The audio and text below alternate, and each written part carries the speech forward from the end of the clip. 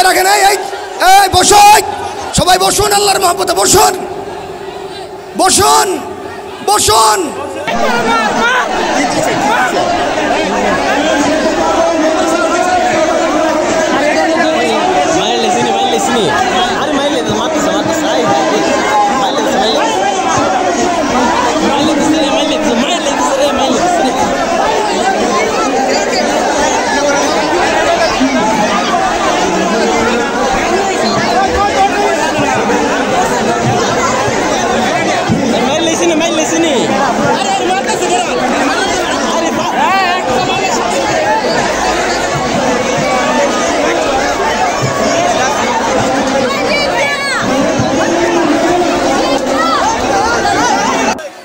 যান।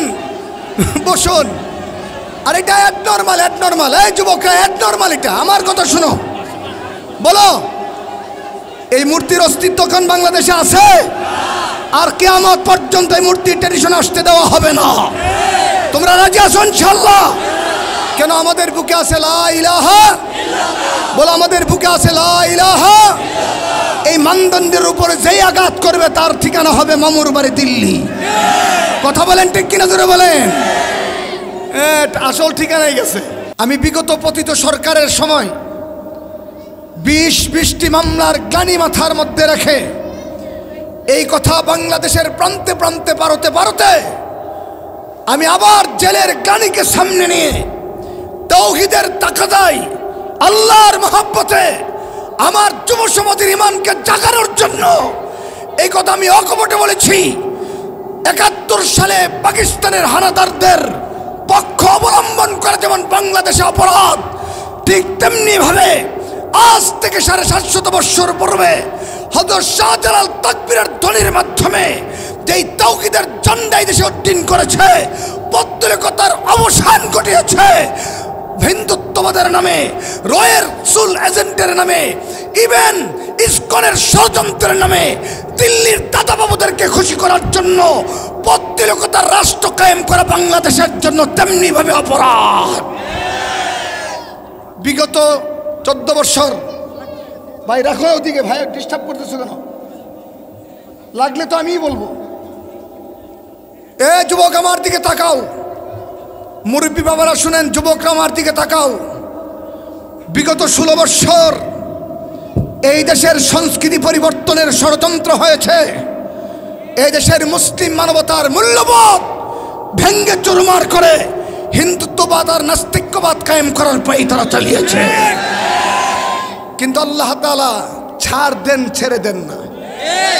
বলেন আল্লাহ? পতন দেখছি এমন পতন আমার বাবাও দেখে নাই?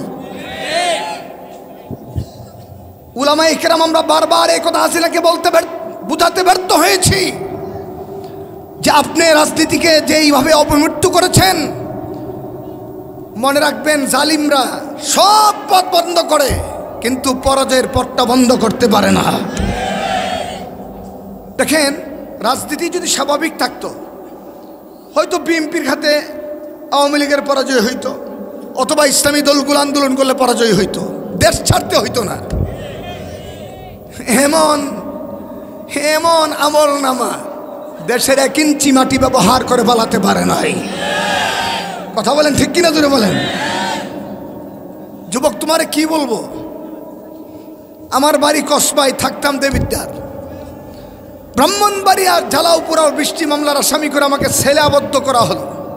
এই যে আমার পাশে রাজু দাঁড়ানো আছে, আহমদ রাজু। গাজীর বাজারের একজন ক্ষুদ্র ব্যবসায়ী, হতদরিদ্র সীমার নিচে বসবাস তার। ফেসবুকে শুধু আলেমদের পক্ষে রেখেছিল। যার জন্য তার জীবন থেকে কেড়ে নেওয়া হলো সাতাশটি মাস। চার, চারবার সাবিনের পরও তাকে বের হতে দেওয়া হয়নি।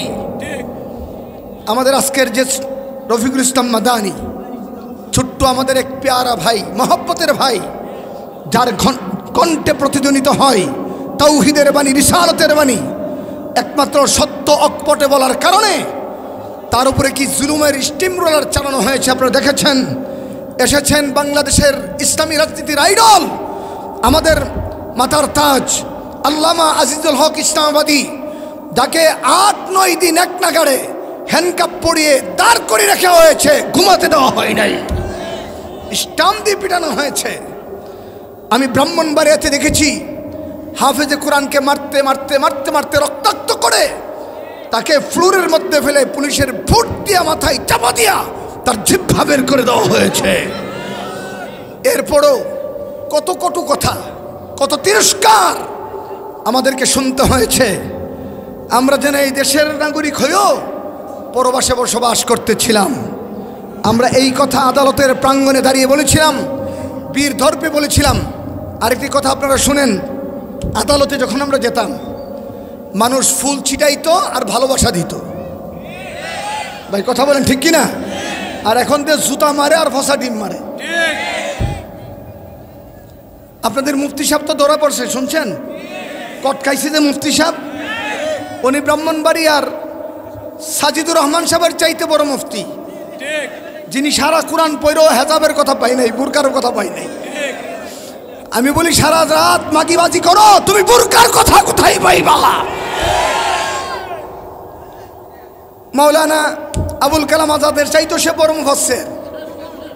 উরি বাবারি, তার এলেম দেখলে শৈতানও ডরাইত এমন নিকৃষ্টভাবে গ্রেফতার হয়েছে, কেন? আমি আজকে মহাদ্দিনগর বলে এসেছি। যে বাংলাদেশ কোন জেলা কীভাবে চলবে আমি জানি না। তবে হাজার বৎসরের ঐতিহ্যের ব্রাহ্মণবাড়িয়া ফখরে বাঙ্গালের আজাদকৃত বড়ৌদুরের আজাদকৃত, মুফতি আজম মুফতি আজম নুরুল্লাহর আজাদকৃত, মুফতি আমিনীর আজাদকৃত, আল্লামা মনিরুজ্জামান সিরাজির আজাদকৃত ব্রাহ্মণবাড়িয়া চলবে উলামাই কেরামের নির্দেশে। এখানে কোনো বেঈমানদের নির্দেশ ব্রাহ্মণবাড়িয়া চলতে দেওয়া হবে না।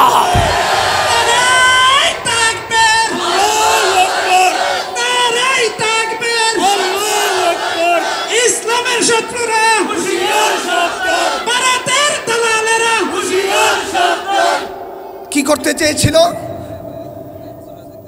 আমার মুসলমানের সমাজ ব্যবস্থা ভেঙ্গে রাম রামের সমাজ কায়েম করতে চেয়েছিল। এরা বলতো, ধর্ম যার যার উৎসব সবার। কথাটা যেমন এমন, বিয়া যার, বউ সবার। বুঝেন নাই? আচ্ছা বলেন তো এখানে হুজুররা আছেন। হিন্দু ধর্মের কালচারের সাথে মুসলমানের কোনো সম্পর্ক আছে? বলেন না।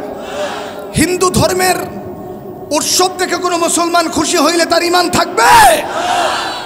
ওই ধর্মের মধ্যে আছে কুফরি আর আমাদের ধর্মে আছে তৌহিদ যেমন আমাদের ধর্মের উৎসবের দিনের নাম হলো ঈদ। ঈদ তো পাঁচটা না ছয়টা? বিজয়নগরে কটাই এবার জামেলা ওখানেও আছে, ঠিক না? তাহিরি বাবা। বসেন বসেন। আজকে আল্লামা সাজিদুর রহমান সাহেব বলেছেন প্রশাসন বলে দিয়েছে প্রকাশ্যে আলেমদের সাথে যে বেয়াদবি করেছে কোরআন সুন্নার যে অপব্যাখ্যায় বেয়াদব করেছে তৌবা করার আগ পর্যন্ত ব্রাহ্মণ ব্রাহ্মণবাড়িয়া সে ওয়াজ করতে পারবে না। বন্ধদের স্থান ব্রাহ্মণবাড়িয়ার জমিনে হবে না। তোমরা রাজি আছো? কারা কারা হাতুড়ে আল্লাহকে দেখাও? আরে তাকবীর। বেদাতিদের আস্তানা শুনেন। ভেঙে দাও পুড়িয়ে দাও শুনেন শুনেন।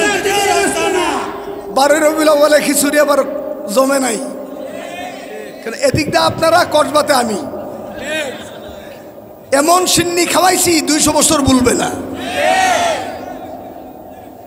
ফাজদামির সীমা থাকা দরকার। আমার নবীর ঈদ দুইটা আর তুমি বানাইছো তিনটা। তোমার বুঝটা নবীর চাইতে বেশি? তোমার মতো বেয়াদব কোনোদিন আশিকার রাসূল হতে পারে না। সাম্প্রতিক দেখবেন সমন্বয়কারীদের স্লোগান সে নকল করতেছে তুমি কে, আমি কে? সুন্নি সুন্নি। কথা বলেন না। স্লোগানটা শুনছেন না আপনারা? আমি বলি না, তোগর মুখে স্লোগান হবে, তুমি কে, আমি কে? বেদাতি বেদাতি। বলেন না, সুন্নি না বেদাতি? অলিপুরি সাহ হুজুর খুব সুন্দর কইছে, যে দানা, বড় ফলের নাম বেদানা রসে বড় ফলের নাম আনারস শূন্যতে বড় দলের নাম মহাবি আর বেদাতে বড় দলের নাম সুন্নি। এই রকম তিন মার্ক, তিন ঈদ মার্কা ইসলাম বাংলাদেশে চলবে না। বাংলাদেশে চলবে মদিনার ইসলাম। এক মিনিট আমি বলে দেই, এই তিন নম্বর ঈদের আবিষ্কারক হচ্ছে পাকিস্তানি। কথা কোনো বলেন না? তিন নম্বর ঈদের আবিষ্কারক বাড়ি কই? জনাব তৈয়ব শাহ, পীর সাহ চিরিকুট। এরপরে তার পোলাই তো তাহের শাহ। স্লোগানটা ছিল এমন, বেলায়েতের শাহানশাহ খাজা বাবা তাহের শাহ। এবার তাহের শাহ আসতে পারে নাই, তার পোলা আইছে। এই যুবকরা জুড়ে বলো, পর্দা, এটা কার বিধান? এই বিধানটা ওয়াজিব, সুন্নত না ফরজ? একটু জোরে কন। আর তোমরা ডার্লিং ডেটিং করে এটা ভিন্ন কথা, কিন্তু মেনে নাও, পর্দা কি? জোরে বলো না, পর্দা কি? সাইনবোর্ডে লেখা গেছে আউলাদের রাসুলের নেতৃত্বে জ্যৈষ্ঠী জুলুসের ঈদ পালন হবে। রাতের বেলা ভিডিও ভাইরাল। আউলাদের রসুল ভাত খাই ডিনার করে, সুন্দরী মহিলারা তরকারি আগায় আগায় দেয় আমি বলি যে আউলাদের আসল যার সামনে বেগানা নারী আসবে, সে প্রতিবাদ করবে না, পর্দার বিধান তোয়াক্কা করবে না। সে আউলাদের আসল দাবিদার হইল, সে আবুল আহাব মার্কা আউলাদের আসল সে আবু বরকর মার্কা আউলাদের আসল না আর এইরকম ভণ্ড মার্কা ইসলাম পাকিস্তান মার্কা ইসলাম বাংলাদেশে চলবে না।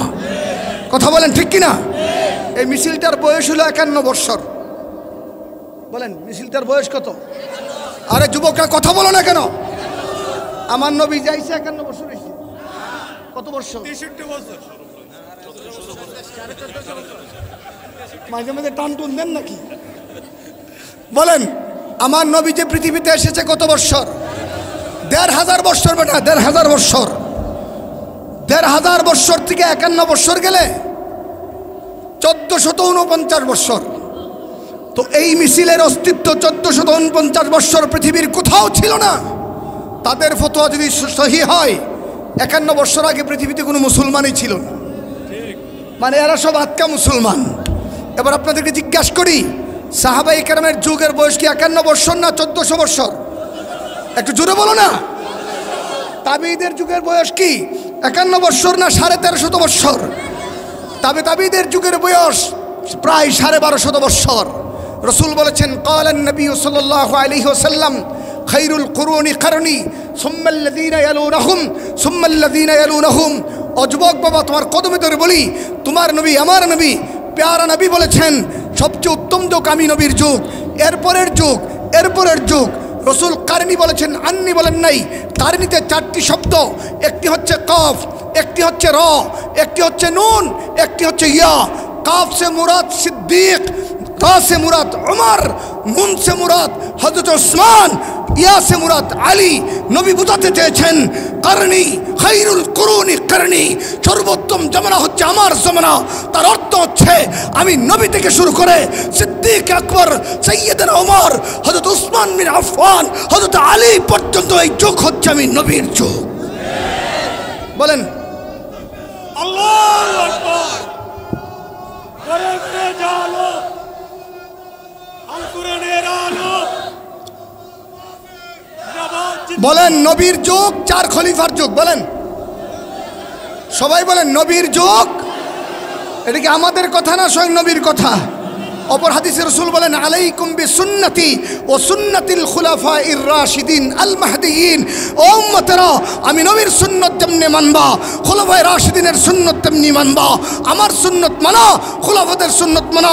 একই কথা, যেমন জুমার একটা আমল, জুমার আজান, জুমার দিন নামাজের জন্য আজান হয় কয়টা? কথা কয় না, বলেন না। আরও জোরে কন? সবাই কন? একটা অক্ত হইলে আরেকটা খুদ্বার আগে বলেন একটা অক্ত হইলে আরেকটা? খুদ্বার আগের সালামের এই আজানের প্রবর্তক হচ্ছে হজরত উসমান রাজি আল্লাহ তাহলে উসমান আমাদের মতো সাধারণ না খলিফা? জোরে কন। তাহলে রসুল বলছেন খলিফাদের আমল আমার আমল।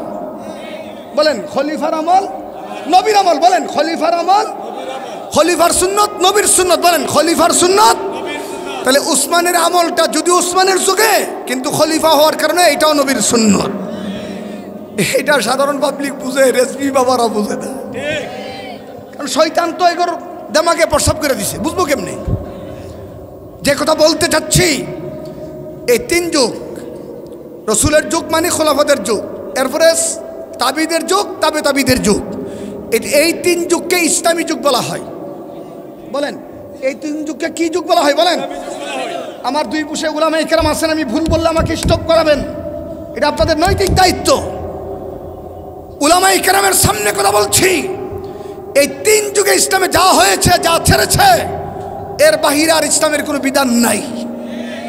এর বাহিরে যে বিধানগুলো আবিষ্কার হয়েছে, দেখতে ইসলামের মতো হইল। নবী বলে এর নাম বেদাত। রসুল বলেন, কুল্লু বিদাতিন দলালা। সমস্ত বেদাতের ঠিকানা হচ্ছে গুমরাহি ও কুল্লু দলালাতিন ফিন্নার। আর সমস্ত গুমরাহির ঠিকানা হচ্ছে জাহান্নাম। তার অর্থ হচ্ছে একানব্বই বৎসর আগে নতুন ঈদ পালন করে, নবীর নামে স্লোগান দুষ্ট জুলুসের মিছিল করল, নবীর হাদিস মতো এটা বেদাত। আর বেদাত যারা করে, এটা গুমরাহি। গুমরাহিদের ঠিক- ঠিকানা জাহান্নাম। এইরকম মিছিল করে শূন্য হবে তাকদরের কথা। তাদের ঠিকানা হলো জাহান্নাম। আমার কথা না নবীর কথা? এই যুবকরা জোরে কও আমার কথা না নবীর কথা। যে আমল সিদ্দিক আকবর করে নাই বলো। যে আমল সিদ্দিক আকবর যে আমল উমর করে নাই বলো যে আমল উমর করে নাই যে আমল সৈয়দনা ওসমান করে নাই যে আমল সৈয়দনা আলী করে নাই এ আমল কখনো ইসলামী আমল হতে পারে না। এটা তাহিরের মতো ভণ্ডের আমল হইতে পারে নাইমের মতো শৈতানের আমল হইতে পারে রেজবির মতো তাজ্জালের আমল হতে পারে। এটা ইসলামের আমল হতে পারে না। এই রকম দাজ্জালরা যদি আবার মিছিল করতে আসে তাদের পিঠের চামড়া উঠাইয়া দিতে হবে। রাজি আছো দিন ইসলাম দিন ইসলাম জিন্দাবাদ জিন্দাবাদ বন্ধ ফিরে রাস্তা না চালিয়ে দাও পুড়িয়ে দাও ভেঙে দাও ঘুরিয়ে দাও নারাই থাকবে যুবকরা আছো তো ইনশাল্লাহ তোমরা কি পাকিস্তান মার্কা ইসলাম মানো না মদিনা মার্কা ইসলাম মানো? তোমরা কি ভণ্ড মার্কা ইসলাম মানো না আলেম মার্কা ইসলাম মানো? তোমরা কি কোরআন সুন্নার ইসলাম মানো না গানের ইসলাম মানো? তাইলে আগামী বৎসর প্রতিটা রাস্তা বন্ধ করে দিতে হবে। বেতাতির জন্য এক ইঞ্চি টাকা ছেড়ে দেওয়া যাবে না। রাজি আছো তো ইনশাল্লাহ আল্লাহ তোমাদেরকে কবুল করুক। যে কথা বলতেছিলাম, এই দেশ তৌহিদের দেশ, বলো, এই দেশ লা ইলাহা ইল্লাল্লাহর দেশ, বলো। সবাই কও, এই দেশ তৌহিদের দেশ, বলো, এই দেশ। আর তৌহিদের নিশানা যিনি প্রথম উড়িয়েছেন, তিনি হজরত শাহজালাল। এবার যুবকরা বলো, তিনি যার বিরুদ্ধে লড়াই করছে তার নাম কি? গোরগোবিন্দের ধর্মের নাম কি? হিন্দুরা পূজা করে কি রে? জুড়ে বলো না ভাই। এই বিগত পতিত সরকার ষোলো বছর হালে আব্বার নামে মূর্তি বানাইছে। আমরা কইসলাম বানাইস না, এটা আমাদের অপরাধ। এটা আমরা বলছিলাম বানায়ও না, এটা অপরাধ। মূর্তি শুধু বঙ্গবন্ধুর নামে না, জিয়াউর রহমানের নামে হইলেও আমরা বিরোধিতা করব। আরে ভাই, কথা বলেন না কেন? আমার নবীর নামে হইলেও আমরা এটা, এটার বিরোধিতা করব। কেন? মূর্তি হচ্ছে শিরিকের নিদর্শন, আর ইমানের নিদর্শন হচ্ছে তৌহিদ। শুনে নাই? পাঁচ তারিখে বিজয় আসার পরে ছোট্ট ছোট্ট পোলা পান্ডা যেভাবে ভাঙছে। একটা দৃশ্য আপনারা দেখছেন কিনা আমি জানি না।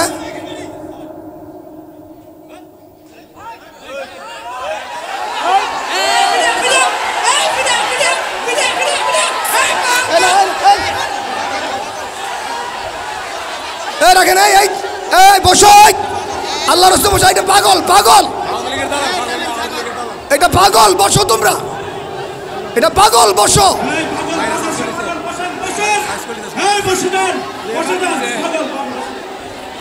এই সবাই বলেন আল্লাহ আকবর। জুড়ে বলে আল্লাহ আকবর। সবাই বসুন আল্লাহর মহব্বতে বসুন। বসুন বসুন বসে যান বসুন। আর এটা অ্যাড নর্মাল অ্যাড নর্মাল এই যুবকরা অ্যাড নর্মাল এটা। আমার কথা শোনো। বলো। এই মূর্তির অস্তিত্ব এখন বাংলাদেশে আছে? আর কেয়ামত পর্যন্ত এই মূর্তির ট্রেডিশন আসতে দেওয়া হবে না। তোমরা রাজি আছো ইনশাল্লাহ কেন আমাদের বুকে আছে লা ইলাহা? বলো, আমাদের বুকে আছে লা ইলাহা? এই মানদণ্ডের উপরে যেই আঘাত করবে, তার ঠিকানা হবে মামুর বাড়ি দিল্লি। কথা বলেন ঠিক কিনা ধরে বলেন? আসল ঠিকানায় গেছে।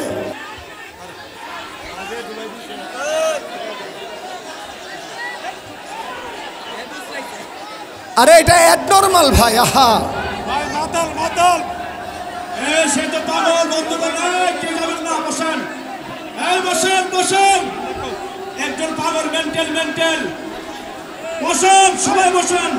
মাহফিল শৃঙ্খলা করেন। বসেন। এই হুজুর কাছে মাইক দেন।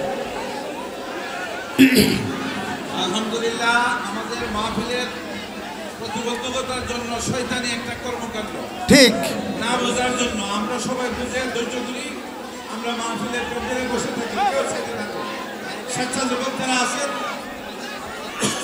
আজ একে প্রহার করে না। এ তাকে মাইরো না মাইরো না। এ তাকে মাইরো না মাইরো না। বা কোনো রুমে আটকে রাখো তবু মাইরো না। ভাই মাইরো না তোমরা।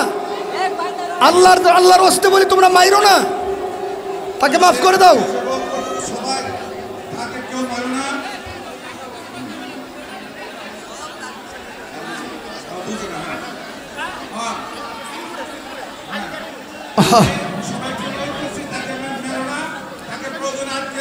একটু জিকির করেন লাইলাহা জোরে লাইলাহা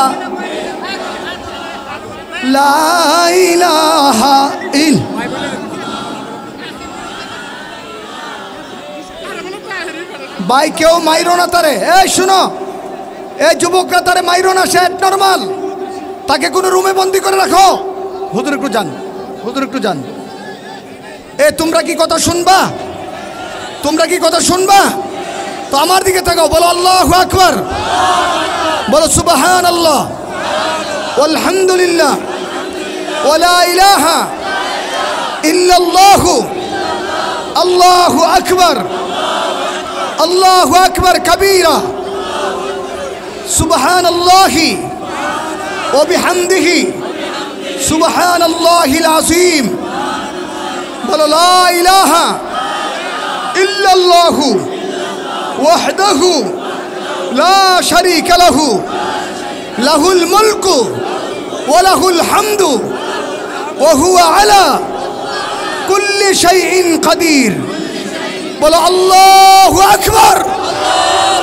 আরও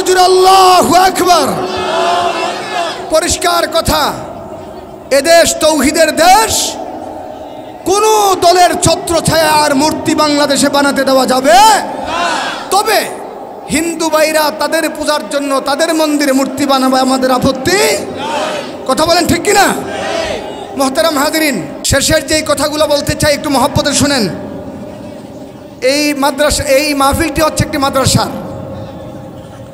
আজকে এখানে আইজুল হক ইসলামাবাদী সাহেব, আমাদের পেয়ারা ভাই রফিকুল ইসলাম মাদানি এবং পাকিস্তান থেকে যে হাবিবুল্লাহ আরমানি সাহেব বয়ান করেছে, আপনাদের কাছে ভালো লেগেছে? দেখছেন, নবীর সাহাবিদের শানে এবং খতমে নবতের শানে কত সুন্দর, চমকপ্রদ আলোচনা করেছেন। আমি আপনাদেরকে জিজ্ঞাসা করি, এই মাদ্রাসার ট্র্যাডিশন বাংলাদেশে থাকবে কি থাকবে না? মাদ্রাসার পক্ষে আপনারা আছেন তো ইনশাল্লাহ কোনো ষড়যন্ত্রে পা দেওয়া যাবে? মাদ্রাসার বিরুদ্ধে যারা কথা বলে বুঝবেন, তারা দিল্লির দাদাবাবুদের দালাল। কথা বলেন ঠিক কিনা জোরে বলেন? একটি কথা মনে রাখবেন, বৈষম্য বিরোধী ছাত্র নেতাদের সঙ্গে আমাদের যোগাযোগ হচ্ছে। তাদের পরিষ্কার বক্তব্য, হাজার হাজার ছাত্রের রক্তের বিনিময়ে আলেমদের রক্তের বিনিময়ে অর্জিত এই স্বাধীনতা, এই কথার অর্থ এই নয় যে একটি দুর্নীতিবাজ সরকারকে প্রতিহত করেছি, আরেকটা দুর্নীতিবাজের হাতে আমরা দেশ দিয়ে দেব। রাষ্ট্রের দুর্নীতি সংস্কার না করে নির্বাচন হবে না। কথা বলেন ঠিক কিনা জুড়ে বলেন? এর জন্য আপনারা সবাই সুচ্চার থাকবেন। সুচ্চার থাকবেন, পরাজিত শক্তি যেন কোনো ষড়যন্ত্র করতে না পারে। আমি এখানে নবী প্রেমিক দেখতে চাই। নবীরে মহব্বত সবাই করেন তো ইনশাল্লাহ খিচুড়ি খাওয়ার জন্য না রক্ত দেওয়ার জন্য? বলেন, ভালোবাসা ত্যাগের নাম। বলেন, ভালোবাসা? বলেন না, ভালোবাসা? আর আর হলো এই যে সুবিধাভোগীর জন্য যে ভালোবাসার নাম হলো বাউতাবাজি। কথা বলেন ঠিক কিনা? এবার বলেন, এই মাদ্রাসাগুলা কারগর নবীর ঘর, বলেন। মাদ্রাসাগুলা কারগর সবাই বলেন না, মাদ্রাসা কারগর এই যে এত বড় অ্যারেঞ্জ এখানে হয়েছে আপনারা খুশি না বাজার। বারবার হওয়ার দরকার আছে না নাই? এই যে মজদুম আলেমগুলো আসছে, এই যে স্মৃতিচারণ করতেছে, আপনাদের ভালো লাগতেছে না? এই কথাগুলো শোনার পরে তৌহিদের কিছু মহব্বত অন্তর আসতেছে কিনা? আল্লাহর মহব্বত কিছু আসতেছে কিনা? তাহলে যেই মাদ্রাসা আমাদেরকে এই সুযোগ করে দিল, জানে মাল এই মাদ্রাসার সঙ্গে আমাদের থাকতে হবে। কথা কয় না, বলেন না? জানেও থাকব, মালেও থাকব। কেন? জেহাদ দুইটা বস্তুর নাম। ইয়া আইয়ুহাল্লাযীনা আমানু আলা তিজারাতিন তুনজিকুম মিন আযাবিন আলিম তুমিনুনা বিল্লাহি ওয়া রাসূলিহি ওয়া তুজাহিদুনা ফি সাবিলিল্লাহি বিআমওয়ালিকুম ওয়া আনফুসিকুম আল্লাহ বলেন, আমি কি তোমাদেরকে এমন একটি ব্যবসার কথা শিক্ষা দেব না? যেই ব্যবসা তোমাদেরকে জাহান্নামের আগুন থেকে মুক্তি দিবে, তা হচ্ছে এক নম্বরে আমি আল্লাহর উপর ইমান আনা, দুই নম্বর আমার নবীর উপর ইমান আনা, তিন নম্বর হচ্ছে জান মাল খরচ করে আল্লাহর রাস্তায় ব্যয় করা। বলেন, জান, মাল আর জান, বলেন, মাল আর, এই ঘোষণা কার? এবার সবাই বলেন, আমাদের এই শরীরের মালিক মালিককে আমরা যে কামাই করি কামাইয়ের মালিককে অপরায়ত আল্লাহ বলেন ইন্নাল্লাহ হাশতারা মিনাল মুমিনিনা আনফুসাহুম ওয়া আমওয়ালাহুম বিআন্না লাহুমুল জান্নাহ। আল্লাহ ডাক ডাক মুমিন তুই পড়েছিস লা ইলাহা ইল্লাল্লাহ মুহাম্মাদুর রাসূলুল্লাহ তৌহিদের বাণী ধারণ করেছিস। সেদিন থেকে তোর জান আর মাল আমি কিনলাম বিনিময়ে আমি আল্লাহ তোর জান্নাত দিয়ে দিলাম। বলেন মুমিনের জানমালের মালিককে একটু জোরে বলেন না মুমিনের জানমালের মালিককে তো আল্লাহর জন্য আমরা জান দিতে রাজি আছি ইনশাল্লাহ জান দেব তখন ইসলামের উপর আঘাত আসবে যখন। বলেন, জান দেব কখন? সবাই বলেন না, জান দেব কখন? আমার নবীর উপর আঘাত আসবে যখন জীবন দেব আর মাল দেব তখন, যখন মসজিদ মাদ্রাসা আমাদের সামনে আসে। রাজি আছেন তো ইনশাল্লাহ?